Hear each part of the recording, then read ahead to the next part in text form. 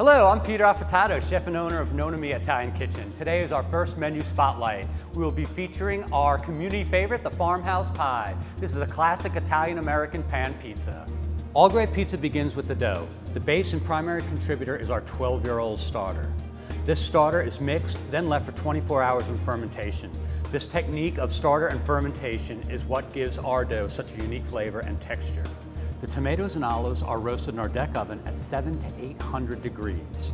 This roasting gives intense caramelization and flavor.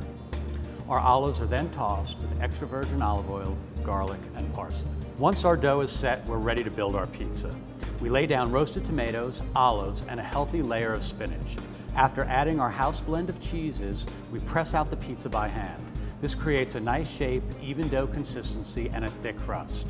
Then we finish with some crumbled goat cheese and it goes into the oven. For a finishing touch, we throw our pizza into our deck oven and let it caramelize, which further creates a crisp crust and dynamic flavor. We cut it, top it with locally grown basil, and it's ready to go. Thank you for joining us here at Nona Mia for the creation of our farmhouse pie. Please look for other menu spotlights. Thank you and buon appetito.